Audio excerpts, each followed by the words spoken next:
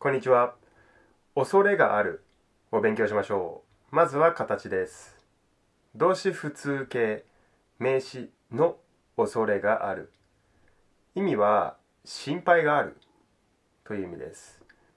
で、悪いことが起きるかもしれないという意味です。例えば、地震の後は津波の恐れがありますね。はい、会話です。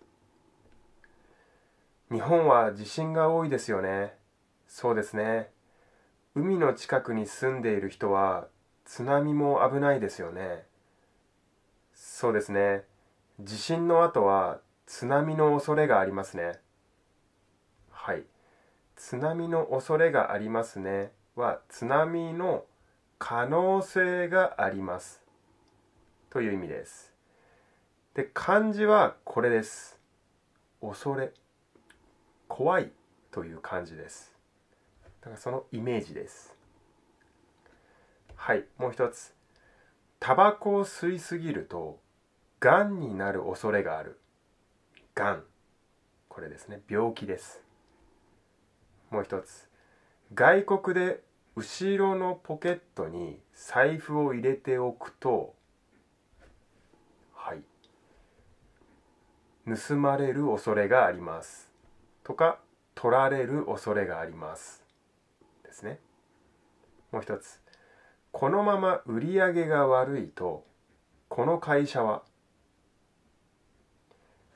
はい。これは倒産する恐れがある。とか潰れる恐れがある。ですね。はい。ポイントは恐れがあるというこの漢字ちょっとイメージです。恐れがある。ちょっと怖いとか心配のイメージです。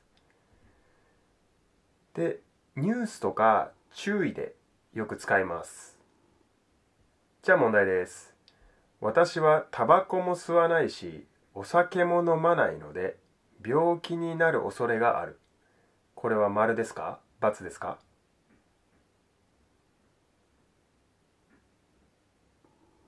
はい正解は×です。これは私はタバコも吸わないしお酒も飲まないので病気になるわけがないとか N さんの文法です。うん、タバコ吸わないお酒も飲まないです。だから病気になる恐れがないですね。はい。じゃあ次。外は35度ながある。